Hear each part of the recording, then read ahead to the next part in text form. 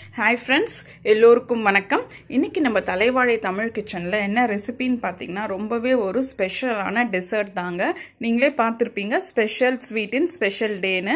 என்னன்னு பார்த்தீங்கன்னா இன்னைக்கு எங்களோட வெட்டிங் டே கல்யாண நாள் ஜூன் நைன்த்து.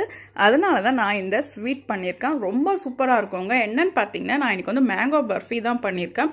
செம்ம டேஸ்ட்டாக இருக்கும். மேங்கோ எப்பவுமே நம்மளுக்கு வந்து அங்கே சீசனில் தாங்க கிடைக்கும். அதனால தான் நான் இதை வந்து அங்கே ஸ்பெஷல் ஸ்வீட்டுன்னு சொல்லியிருக்கேன். செம்ம டேஸ்ட்டாக இருக்கும் ரிச்சாக இருக்கும். வாங்க இப்போ அந்த மேங்கோ பர்ஃபி எப்படி பண்ணுறதுன்னு நம்ம வீடியோக்குள்ளே போய் பார்க்கலாம். வீடியோக்குள்ளே போகிறதுக்கு முன்னாடி நம்ம சேனல் தலைவாழை தமிழ் கிச்சனை சப்ஸ்கிரைப் பண்ணாதவங்க ரெட் கலர் சப்ஸ்கிரைப் பட்டனை கிளிக் பண்ணி சப்ஸ்கிரைப் பண்ணிக்கோங்க. நாங்கள் போடுற வீடியோஸ்லாம் உங்களுக்கு உடனுக்குடன் நோட்டிஃபிகேஷன் வரணும்னா பக்கத்தில் இருக்க பெல் பட்டனை ப்ரெஸ் பண்ணி அதில் ஆல் செலக்ட் பண்ணி வச்சுக்கோங்க. ஸோ தட் நம்ம சேனலில் போடுற வீடியோஸ் எதையும் நீங்கள் மிஸ் பண்ணாமல் பார்க்கலாம். ஃபஸ்ட்டு நம்ம எந்த பாத்திரத்தில் பர்ஃபியை செட் பண்ண போகிறோமோ அதில் வந்து நாங்கள் நெய் தடவி வச்சுக்கலாம். முதல்ல வந்து தடவி வச்சுக்கிட்டா நம்ம அதுக்கப்புறம் வந்து பண்ண ஒன்று அங்கே எடுத்து கொட்டுறதுக்கு கரெக்டாக இருக்கும். மேங்கோ பர்ஃபிக்கு நான் இன்னைக்கு ஒரு பெரிய மாம்பழம் எடுத்திருக்கேன். கட் பண்ணால் நம்மளுக்கு வந்து அங்கே ஒரு கப் போல் வரணும். இதை நம்ம வந்து கட் பண்ணி மிக்சியில் போட்டு நல்லா ஃபைன் பேஸ்ட்டாக அரைச்சி எடுத்துக்கணும்.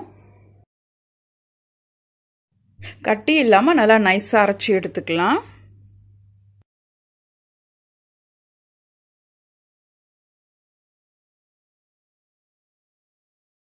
பாருங்க கரெக்டாக நம்மளுக்கு வந்து ஒரு கப் வந்திருக்கு. அடுத்ததாக பார்த்தீங்கன்னா ஒரு கால் கப் போல் பாதாம் எடுத்து நல்லா வந்து ஃபைன் பவுடராக பண்ணிக்கணும். நீங்கள் வந்து பாதாம் இல்லைன்னா முந்திரி கூட எடுத்துக்கலாம்.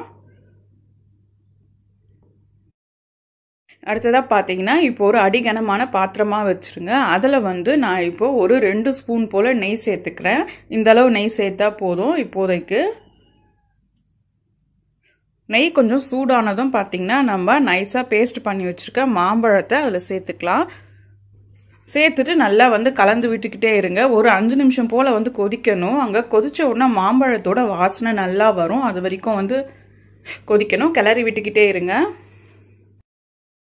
பாருங்கள் நல்லா ஒரு அஞ்சு நிமிஷம் கொதிச்சிடுச்சு கலரும் வந்து மாறிடுச்சு. இப்போ வந்து ஒரு அரைக்கப் போல் காய்ச்சி ஆற வச்சுனா பால் சேர்த்துக்கிறேன். இப்போ வந்து மிதமான தீயில வச்சுட்டு இது ஒரு அஞ்சு நிமிஷம் வந்து கொதிக்க விடுங்க. கலந்து விட்டுக்கிட்டே இருங்க. அடி பிடிக்காமல் பார்த்துக்கோங்க. கொஞ்சம் அந்த பாலோட சேர்த்து நல்லா வந்து வேகணும். எல்லா பக்கமும் சைடில் வந்து பிடிக்காத மாதிரி கலரி விட்டுக்கிட்டே இருங்க. தீயை வந்து மிதமாக வச்சு கலருங்க கரெக்டாக இருக்கும். பாருங்க நல்லா கொதிச்சிடுச்சு. இப்போ வந்து சர்க்கரை சேர்க்கலாம். நான் வந்து பார்த்தீங்கன்னா அங்கே ஒரு கப் மாம்பழத்துக்கு அரை கப் சர்க்கரை சேர்க்குறேன். கரெக்டாக இருக்கும். இது மாம்பழத்துலேயே நம்மளுக்கு வந்து ஸ்வீட்னஸ் இருக்கும். அதனால தான் சர்க்கரை சேர்த்துட்டு ஒரு மூணு நிமிஷம் நல்லா வந்து கொதிக்கட்டும். கலந்து விட்டுக்கிட்டே இருங்க. கலர் மாறும். பாருங்க இந்த மாதிரி வந்து கண்ணாடி மாதிரி வந்து மாறும். கலர் அது வரைக்கும் வந்து கலரி விட்டுக்கிட்டே இருங்க. சர்க்கரை சேர்த்து நல்லா கொதிச்சு அங்கே இந்த பதத்துக்கு வர அளவுக்கு வந்து கலரி விட்டுக்கிட்டே இருங்க. அதுக்கு அடுத்து நான் இப்போ அரை கப் பால் பவுடர் சேர்க்குறேன். கூடவே பார்த்தீங்கன்னா நம்ம பவுடர் பண்ணி வச்சுருக்க பாதாம் பவுடர் வந்து ஒரு கால் கப் சேர்க்குறேன். அதுக்கு அடுத்ததாக ஒரு கால் கப் போல் துருவி வச்சுருக்க தேங்காய் சேர்க்குறேன். தேங்காய் வந்து அந்த கருப்பு பகுதி இல்லாமல் வெள்ளையாக இருக்கிறது மட்டும் சேர்த்துக்கோங்க. இப்போது எல்லாத்தையும் வந்து கிளறி விட்டுக்கிட்டே இருங்க. கொஞ்சம் வந்து இலகி வரும் அங்கே. பர்ஃபி பதத்துக்கு நம்மளுக்கு வந்து வந்துடும் இப்போ.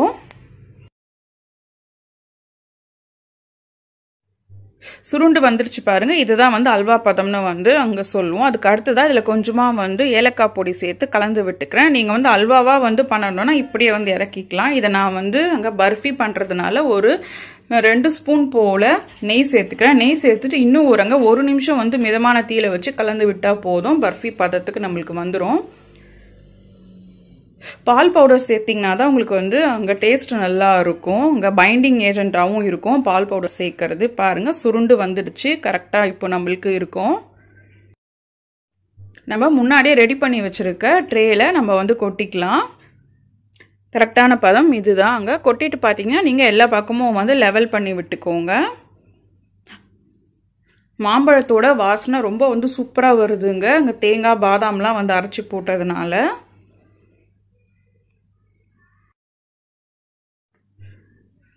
இந்த மாதிரி ஒரு ஸ்பூன் வச்சு அங்கே ஸ்பூனில் வந்து பின்னாடி நெய் தடவிட்டு அங்கே ஃப்ளாட்டாக பண்ணி விட்டுக்கோங்க. மேலே உங்களுக்கு அங்கே ஈவனாக இருக்கும். இந்த மாதிரி பண்ணிங்கன்னா அதுக்கு அடுத்ததாக இதில் மேலே கொஞ்சமாக வந்து கட் பண்ணி வச்சுருக்க நட்ஸ் சேர்த்துக்கிறேன். பாதாம் அந்த மாதிரி எது வேணாலும் வந்து சேர்த்துக்கலாம். முந்திரி நம்மளோட இஷ்டம்தான்.